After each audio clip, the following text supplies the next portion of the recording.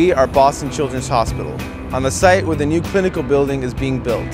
It's an 11-story building which will accommodate an important facility, significantly expanding the hospital's capability.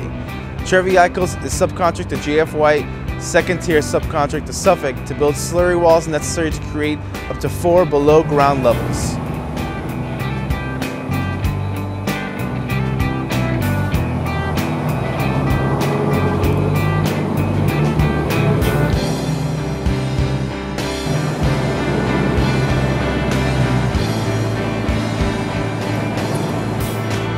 Our task was to excavate and pour 54 panels, all 36 inches thick, of various depths and lengths.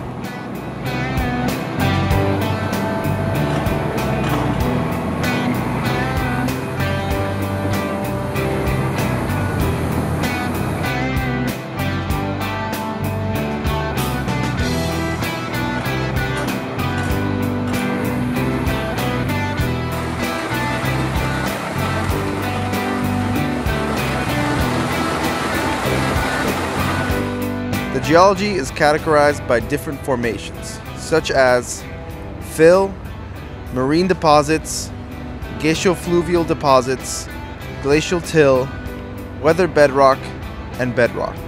The bedrock, which was essentially of a sedimentary formation, was in certain areas mixed with metamorphic formations of highly abrasive diabase with compressive strengths up to 30,000 psi.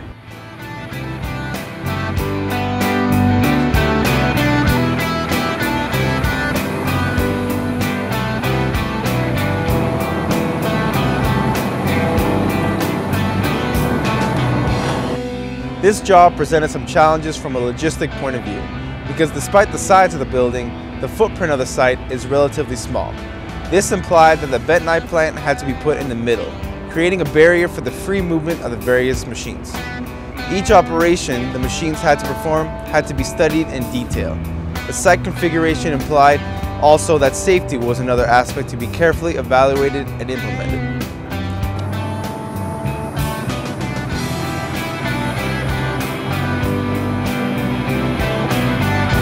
Despite all these challenges, construction is going well and is estimated to complete in early May.